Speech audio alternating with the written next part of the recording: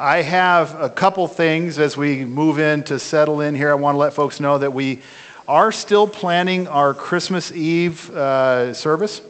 Uh, we ordinarily do two. This year we're only going to do one. It is at 8 o'clock, our candlelight service. Um, but do kind of keep in touch. Uh, as far as I know, we're moving forward on all of the, we're making the plans that we need to do that. But uh, if, you're, if you've been around for the last few months, you realize that plans sometimes change. But uh, we're not going to talk about that. We're going to move forward with our Christmas Eve service, 8 o'clock on what day? Christmas Eve. Yeah, the 24th. So here at the church at 8 o'clock, we'd love to have you celebrate uh, on, that, on that evening. Uh, the second thing I want to do today, it's a little bit off, off topic, off schedule, but not for our young people. How many of you have finals next week? I don't have finals. I'm just raising my hand as an example. Um, we're going to pray for you. would that be good? All right. If you would, uh, if you'd all bow with me, we will take a little moment to say a prayer of blessing on our students. Heavenly Father, we come to you today and we place our young people in your hands. They are facing finals this coming week, uh, the end of the semester, and we know that a lot of them have been facing additional challenges with the way school has been this year. Uh, we ask that you would give them clear heads, help them to think and to remember the things that, that has been placed in their, in their minds, uh, help them to do well on their tests, give them calm hearts, and help them to do their best. We are so blessed to have them as part of our family here, and we just want to pray that you would bless them in their work that they have to do during this coming week. And bless all the students in our community as they are all facing similar situations. Just uh, help us move through this finals week and, and do the best that we can. We pray these things in Jesus' name. Amen. All right. Matt, would you begin our service?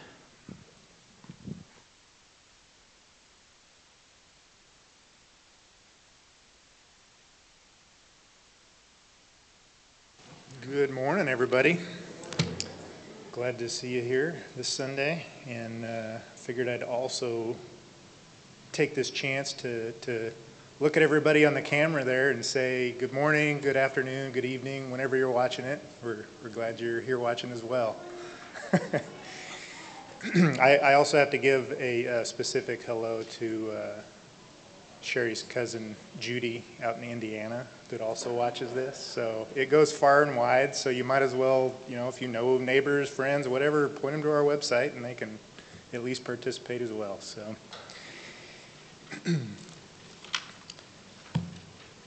um, let's see here. So we got uh, Psalm 16, 5 through 11 today. The Lord is my chosen portion and my cup. You hold my lot. The lines have fallen for me in pleasant places. Indeed, I have a beautiful inheritance. I bless the Lord who gives me counsel. In the night, also in my heart, in the night, also my heart instructs me. I have set the Lord always before me. Because he is at my right hand, I shall not be shaken. Therefore, my heart is glad, and my whole being rejoices my flesh also dwells secure. For you will not abandon my soul to Sheol, you, or let your Holy One see corruption. You, may, you make known to me the path of life. In your presence there is fullness of joy. At your right hand are pleasures forevermore. For some reason, as I was reading this, the mental image that popped out when it talked about, I have set the Lord always before me, was our dog playing with a laser pointer.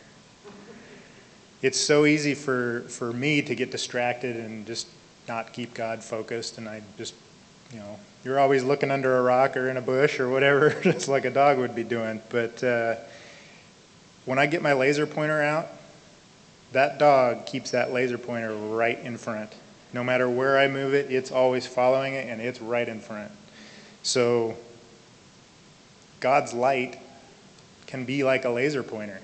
And it's something that we keep in front of us if we're truly keeping Him focused. So let's see here. Looks like we also have a, uh, an uh, Advent uh, call to worship here that I'll read. The Spirit of God welcomes you to worship today on this, the third Sunday of Advent. Today we reflect on Mary's song and the wonderful reversal she anticipates. God's priorities don't always align with ours, but regardless of the world, world's accounting, those that follow the Lord's path of life will always find joy. Let's pray. Dear Lord, we just thank you that you are a light, that you are a light that is more powerful and strong than any laser pointer we could ever devise. Lord, and it guides our way. It, it keeps us on a path forward, a path towards you, Lord. Lord, just help us to heed it and follow it. Set it in front of us, Lord. Lord, I just pray for this congregation that as we go out this week, that we will be mindful of you. Amen.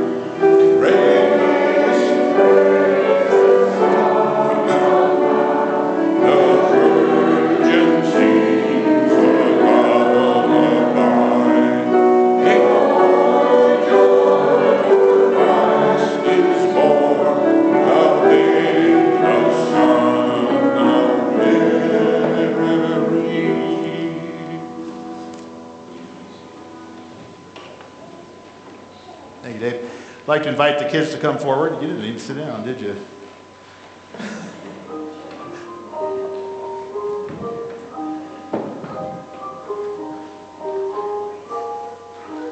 All right, so y'all are kind of figuring out what we're doing here, right? Yeah, Dad. Oh, careful, careful, careful. Um, we're doing, we're going through these candles. Huh? Come on. You gonna make it? I don't know how many goldfish crackers you have in your mouth right now, but I'll bet it's a lot. Good. You guys want to sit there? You want to sit right here? Wherever you like. All right, so yes, we're lighting these candles. And lighting candles, yeah, for us, it helps us remember some of the things that God wants us to remember all the time, but especially this time of year. So, what was the first one that we lit? Does anybody remember what it was? Peace. Peace. Was it peace? Was it hope? It was hope, because you lit it, right? Yeah, so we're going to go through all the candles uh, that, uh, up until the one that we light for today, because I wanted to give more kids a chance to light candles. Who has not lit a candle yet? There's some of you that haven't lit a candle, so do you want to start? All right, so light that first one. That's hope, right in the front. And we talked about prophets who give us hope by telling us that Jesus is going to come in the Old Testament. So that's what the hope part is, getting it? You have to pull that little thing with your thumb back a little further. Get it? Yeah, nice. Good job. Okay, so you remember the second one. You guessed peace the first time, but it is it's peace. Oh, you think so? Why do you want to light the pink candle? Because it's their favorite color. Okay, well, we're going to light a purple one. That's peace. And peace, the angels came and told the shepherds and told all these people that, that, that Jesus was going to come. And people were a little bit nervous about seeing angels. And, and so the angel always told them that they should have peace and don't be afraid. And so we light the candle of peace next.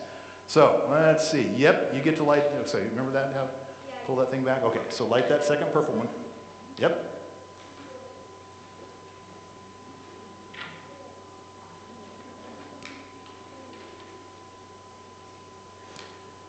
I'm teaching him how to use a lighter. I apologize. You know how to use those. You're right. Okay, thank you.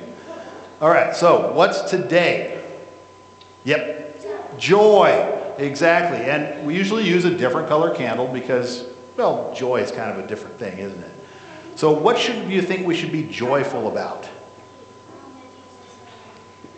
Yes, that Jesus came and died for us. Yeah. Did you have something? That's absolutely. We have a lot of joy about that. Yeah. So, the person that we think about, we thought of prophets and we thought of angels, and today we're going to think a little bit about Mary. Do you know who Mary is? Jesus' mom, right, exactly. So, Jesus, in order to be born a person like us, they just needed to be a mom, and so that's who Mary was. So, Mary lived in a town called Nazareth. Okay, you guys think about Bethlehem for Christmas, right? But actually, she lived in a town called Nazareth. And when the angel came and told her, she was pretty excited about it. So she went to see her kinswoman, a woman that she was related to, named Elizabeth. Now, in the first chapter, do you know about Elizabeth? Yeah, she had John. Yes, exactly. John the Baptist. That was the mother of John the Baptist. And the story goes that, that Mary came down, and when she called out to her kinswoman, Elizabeth, and said, Hey, I'm here at home, that the baby, John, that Elizabeth was carrying, leapt for joy inside her, which is kind of exciting to think about, that the baby knew who Mary was. And it's all part of that joy that you guys are talking about, about how exciting it is that Jesus comes to earth and walks with us and teaches us things and gives himself for us. That's pretty neat. And it should bring us joy. And so we're going to think about Mary today, and we're going to think about where she was from and where she went to and all those different things about her life because she's a good example of someone that recognized the joy of Jesus. All right? So, are we going to light would you like to Grace, would you like to light that candle? It's her purple it's her color favorite color. So we're going to have her do it. But next week we're going to light more, okay? So remember if you haven't lit a candle yet, okay? You guys got it? Oh boy. Am I asking for trouble letting brothers help? Okay. All right, I think we can sneak around here? Do you want me to hold her up? And you got it. okay, so pull that down. Right there. Okay. Pull it with your finger. Good job. It's going. Ah, good job. Whoops. I kind of got into that other candle. Good job. Okay, let's pray together. She's getting bigger all the time. All right, let's pray. Bow your heads. Lord, we thank you for these young people and the, the joy that they experience in their life. And we know that that joy is exciting, and it's especially this time of year we get really joyful. But we know that that's all just a pale comparison to the joy that you offer in Jesus Christ. Help us to recognize that great joy that Jesus brings. And we pray this in Jesus' name. Amen. All right, thanks.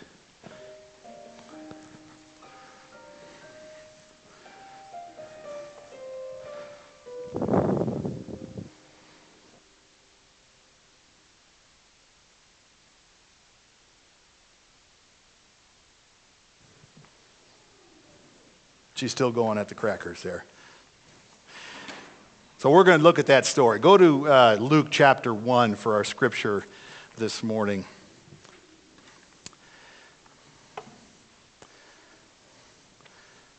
Part that I'd like to read begins in the 46th verse of chapter 1 in Luke. It begins as Mary, and Mary said, My soul glorifies the Lord and my spirit rejoices in God my Savior, for he has been mindful of the humble state of his servant.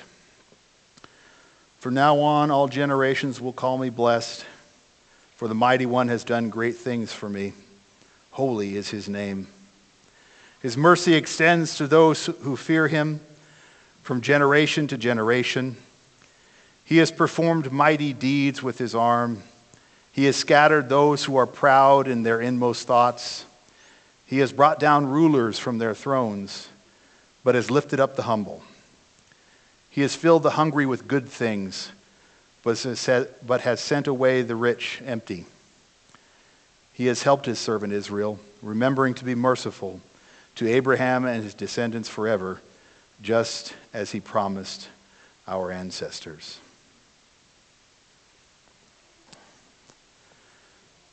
William Temple was an Anglican priest. He served as the Archbishop of Canterbury from 1942 to 1944. He died of a heart attack that year, in October of that year. He had just turned 63. Temple's father was the Bishop of Exeter in, in Devon, and Temple grew up in, a, in privileged church circles. As the Archbishop, he had the responsibility of overseeing the work of missionaries, uh, overseeing those that were sent to the far corners of the British Empire.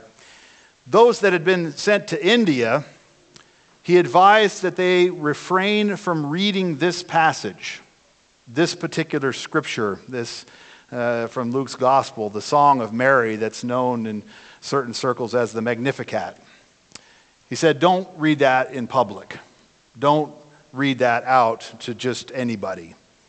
He suspected that the language, which is fairly subversive, he suspected that it would incite the lower castes of Indian society to revolt, that it would damage the reputation of the church in the process.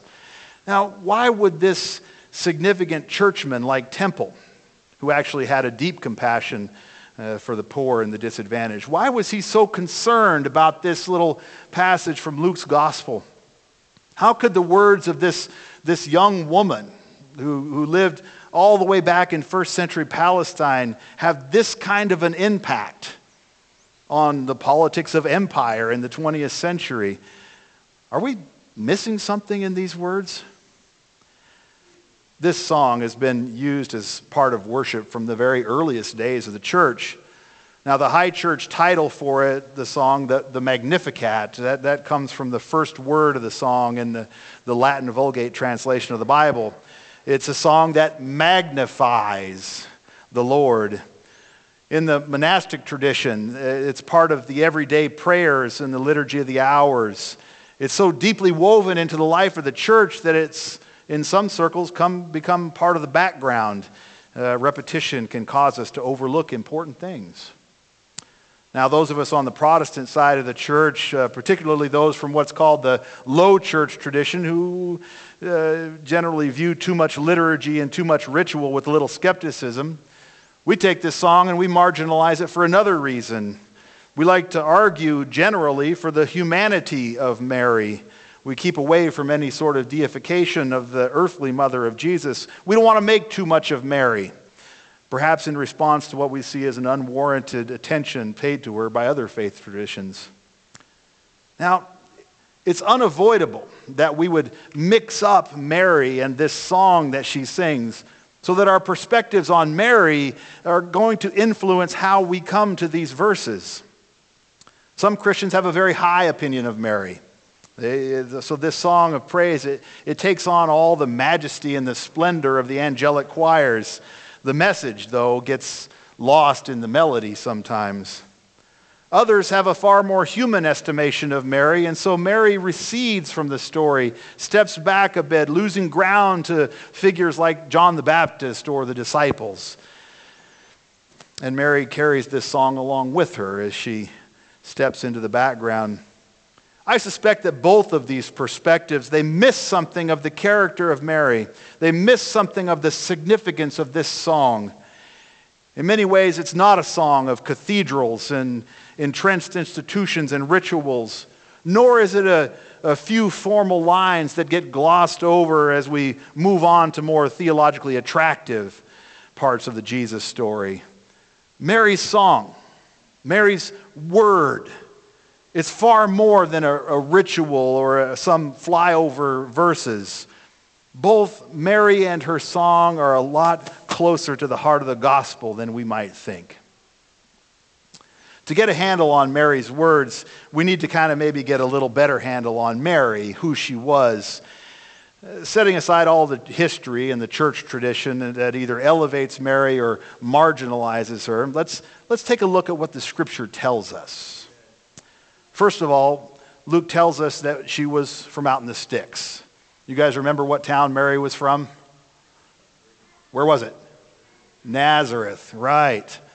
Yes. In Luke 126, Luke says that in the sixth month of Elizabeth's pregnancy, God sent the angel Gabriel to this town, Nazareth, a town in Galilee. Now, outside of the New Testament, Nazareth is a non place. It's not even mentioned. It's, it's not mentioned in the rabbinic literature. It's not mentioned in the Mishnah or the Talmud. It's not mentioned in any of the ancient sources. It's not even mentioned in the Old Testament. Only the New Testament tells us about this town. Now, the evidence points to a, a, a little place, a, kind of a mud brick hamlet kind of a place, uh, maybe 500 people, uh, a place with zero social or political significance. That's not to say that it didn't have importance to the people that lived there. It was a pretty thriving village. It produced wheat and wine and oil and fruit, honey and millet.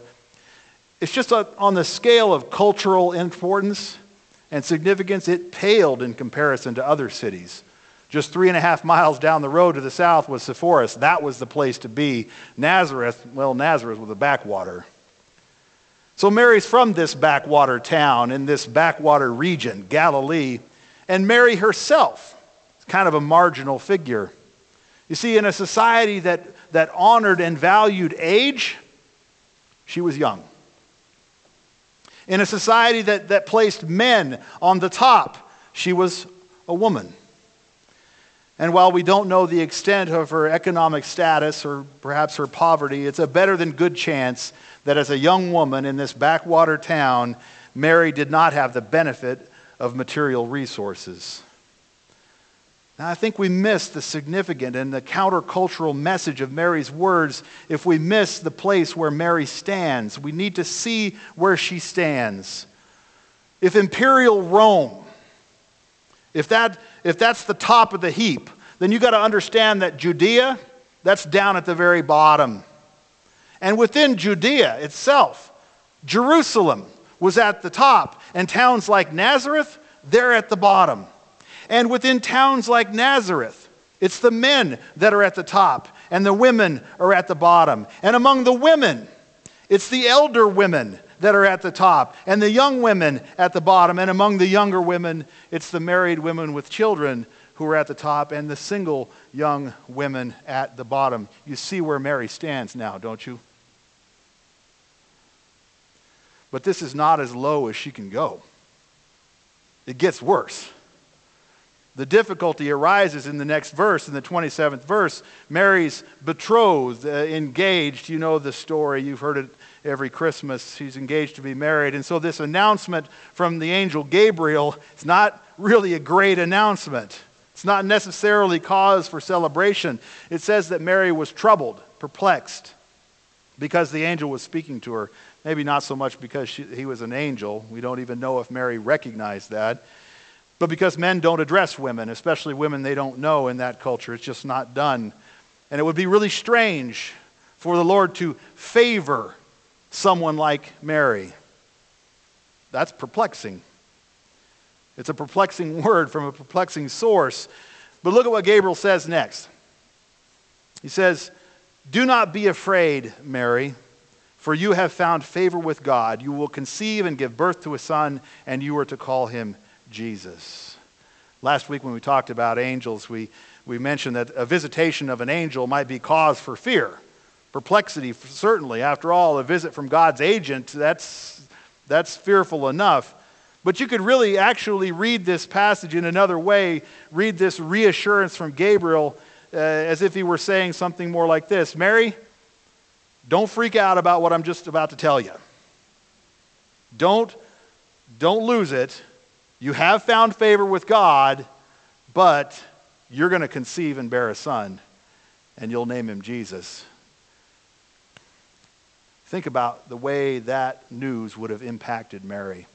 You see, Mary was already at the very bottom of the social scale.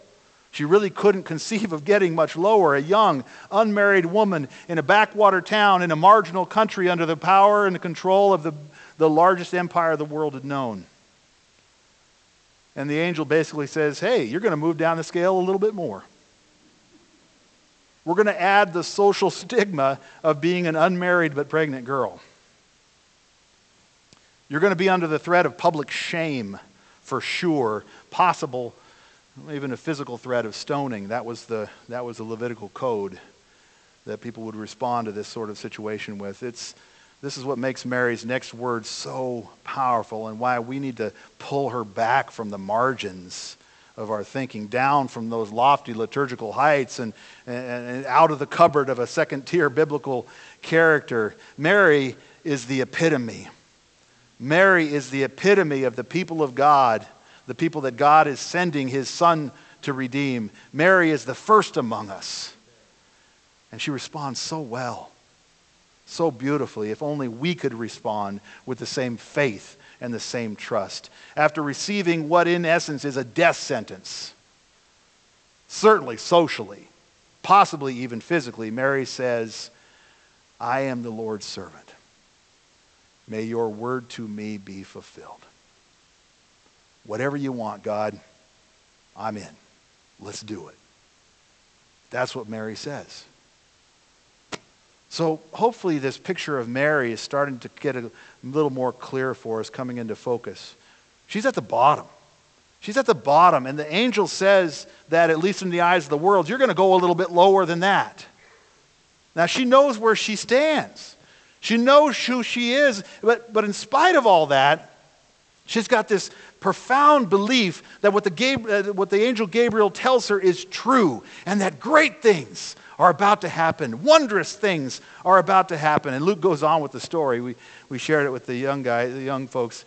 Uh, the, the, uh, as a sign that what he says is true, Gabriel tells Mary that Elizabeth, her kinswoman, is, uh, who, who's also expecting a child. She's far too old to bear a child, but that's what's happening. It's, it's miraculous. And so Mary goes down to the hill country where Elizabeth and Zachariah live, and uh, I suspect not so much to see if what the angel said is true. She already believes that, but maybe just to go and witness it, to be with Elizabeth. And she gets there to Elizabeth's home and she calls out. She, she says, I'm here. And, and, and on hearing her greeting, Elizabeth feels the child within her leap. Now, this is normal.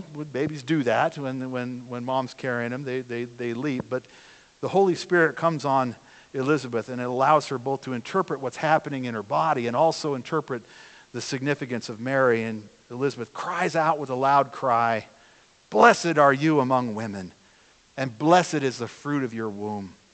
And why has this happened to me that the mother of my Lord comes to me? For as soon as I heard the sound of your greeting, the child within my womb leapt for joy. For joy.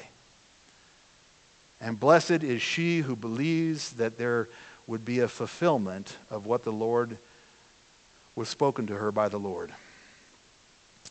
There's a lot there. Elizabeth says a whole bunch. She recognizes the blessing that Mary has received. It's a heavy blessing, to be sure but a blessing nonetheless. She recognizes that the child that uh, is conceived in Mary would be her Lord, her Lord, Elizabeth's own Lord, and that the forerunner that she's carrying in herself recognizes the significance of Mary. And then that last line, which, which applies equally well to both Elizabeth and Mary Blessed is the one who believes what God tells her. And then Mary breaks out in song. She can't contain herself. She erupts in song. And this is what we need to hear really hear what she's saying. This is not the repetitive prayer of a monk. This is not the occasional glance that Protestants give this, these verses during Advent. This is at the core of the gospel message. My soul rejoices, Mary says. Why? Because the Lord has looked with favor on the lowliness of his servant. Mary knows exactly who she is. She knows exactly who she is. There's no delusions of grandeur here, there's no illusions. She is low, she is a servant. It's not false humility on her part. She, this is a simple acknowledgement not only of her status in relation to God, but her objective status within the society. And she goes on in recognition of what God is blessing her to uh, what, what that all actually means.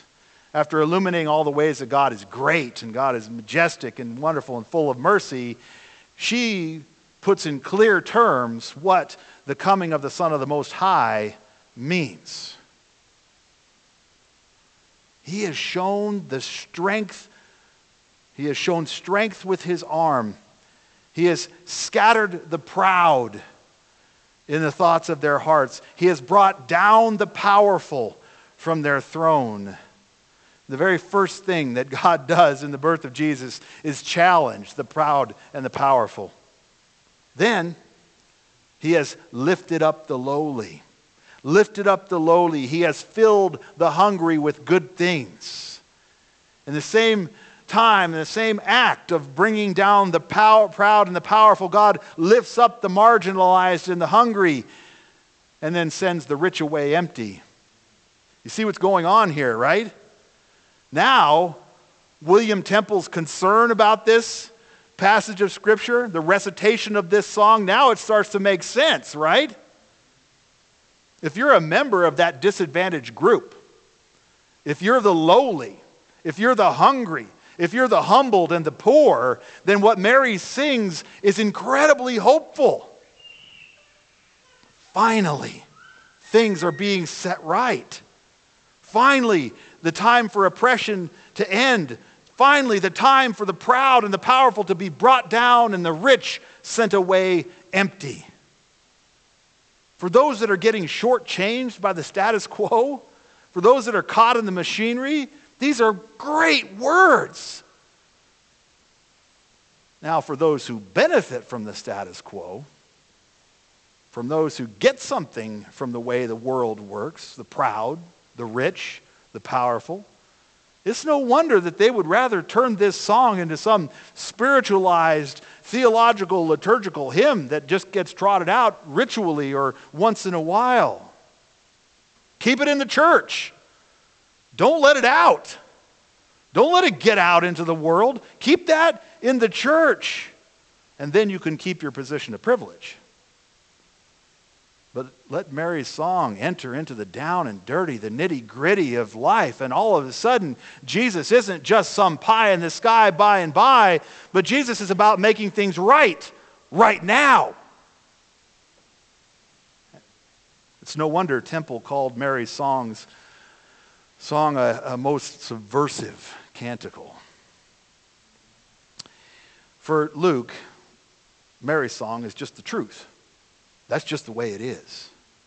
Luke's pretty famous for not allowing what Jesus is doing to get overly spiritualized. Matthew, when he talks about the Beatitudes, when he records Jesus' words in the fifth chapter of his gospel, he talks about the poor in spirit. Well, Luke cuts deeper than that. In his record of Jesus' words, he says, Blessed are the poor, full stop. That's Luke 6:20 if you're interested in that.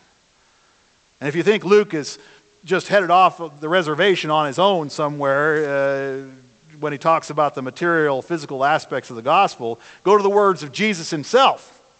Again, in Luke's Gospel, chapter 4, where Jesus claims the words of the prophet Isaiah, saying that he'd come to proclaim Jubilee, the year of the Lord's favor, which is good news for the poor, release for the captive, sight for the blind, freedom for the oppressed. There's a good reason that God chose Mary. Mary was socially and culturally at the very bottom of the scale. You couldn't really imagine somebody less than Mary. And the promise that the angel shares with her, it moves her down even lower in the eyes of the world. But God is absolutely in the business of taking the lowly and the marginalized and then challenging and even overcoming the proud and the powerful. It's through weakness and through smallness and through insignificance that God's power is most visible. God has chosen the so called foolish things of the world to confound the supposed wise. God offers to the least likely person a chance to be a part of the most powerful rescue mission that the world has ever known.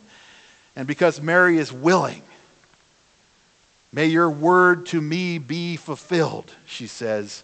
Mary becomes an important participant in that miraculous plan, but we need to hear what Mary is saying. We need to hear what Mary is saying. The way that God is going to bring redemption to the world, and that the priorities that God has might not line up with what we have. As soon as Christians move from the margins to the center of power, as soon as we start seeking influence through the political realms that we inhabit, as soon as we start to benefit from the status quo and keeping things the way that they are, those benefits, they start to look a little more attractive than the blessings of following faithfully. When Mary talks about lifting up the lowly, she's not just talking about herself. Jesus affirms again and again and again throughout his entire ministry and everything that he said that lifting up the lowly is what he is all about. When Mary sings about God humbling the proud and bringing down the powerful from their thrones, she's not just comparing her experience to other women that God may have chosen. She's aligning herself with this eternal message, the message that is consistent throughout all of Scripture, the message that the prophets brought forward again and again and again that God is on the side of the poor and the oppressed. Don't mess with them. God's on their side. And often, that message scares us. That message unsettles us. You see, Mary's words are subversive. Not in and of themselves alone, but in the way that it points to what Jesus is doing.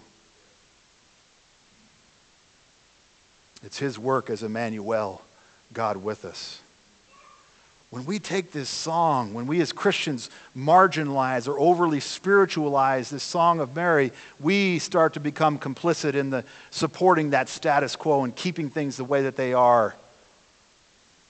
We reject the wondrous reversal that these words represent. You see, just as it is to the world, Mary's word is a challenge to our comfort and our pride. In 1933, in an Advent sermon, The German theologian Dietrich Bonhoeffer said this The Song of Mary is the oldest Advent hymn. It is at once the most passionate, the wildest, one might even say the most revolutionary Advent hymn ever sung. This is not the gentle, tender, dreamy Mary whom we sometimes see in paintings. This song has none of the sweet, nostalgic, or even playful tones of some of our Christmas carols. It is instead a hard, strong, inexorable song about the power of God and the powerlessness of humankind. Bonhoeffer's words remind us of something that Mary understood. That while God's redemptive plan is a source of incomparable joy, it can never be superficial. It can never be trite. It can never be overly spiritualized, and it will never be comfortable. It will always challenge strength and pride. It will always confront wealthy and privileged people.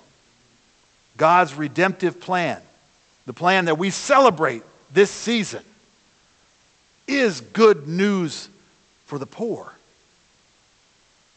And not just the poor in spirit. And you know, the way we respond to Mary's song shows a little bit about where we stand. Is it cause for celebration or concern? What do we hear when we hear Mary's words?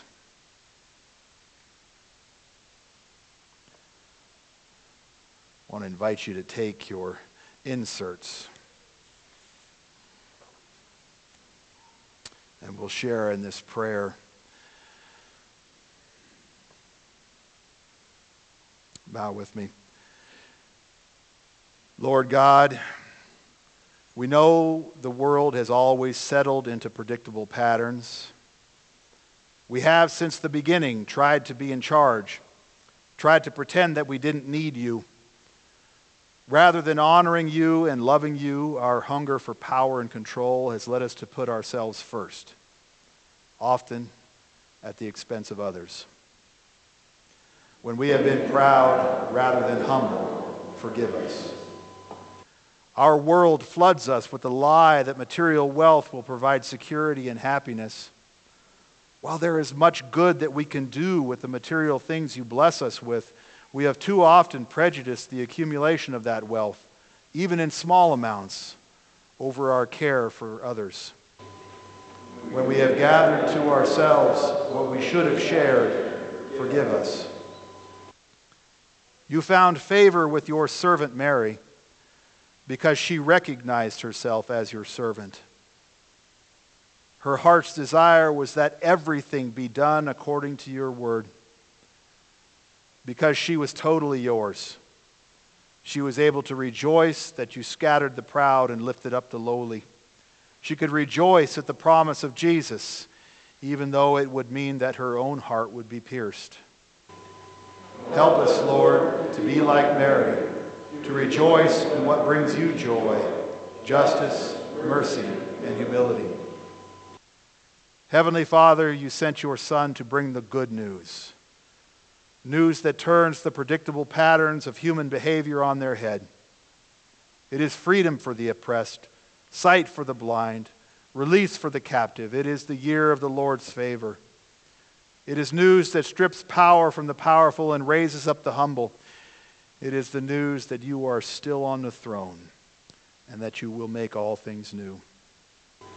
Lord, even though we want what we want, and even though we get lost in our own struggles for control, help us follow Mary's example and be willing to accept your perfect plan and follow you faithfully.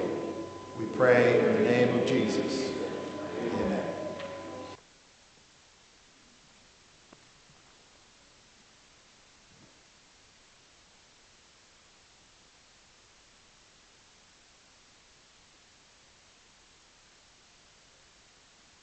sing Good Christian Friends Rejoice, the first and second verse. Good Christians rejoice with heart and soul. Re- Give ye heed to what we say. Jesus Christ is born today. Oxen lowed and yell him bow. Is in the manger now. Christ is born today. Christ is born today. Verse 2. Good Christian friends rejoice. now we hear an endless bliss. Jesus Christ to sing on heaven's door, and we are blessed forevermore. Jesus is to Christ was born for this. Good Christian friends, rejoice with heart and soul and voice. Now ye need not fear the grave. Jesus Christ was born to save. Calls you one and calls you all to gain his everlasting hall. Christ was born to save. Christ was born to save. If you would pray with me once more. Lord, we ask your blessing on these, your people. Help us to hear these words from your servant Mary. Help us to join with Christ in lifting up the lowly. We pray that you would keep each one here safe, give them opportunities to share your love, and bring us together again in body and in spirit so that we may worship you wherever we are. We pray these things in Christ's name. Amen. You may go in peace.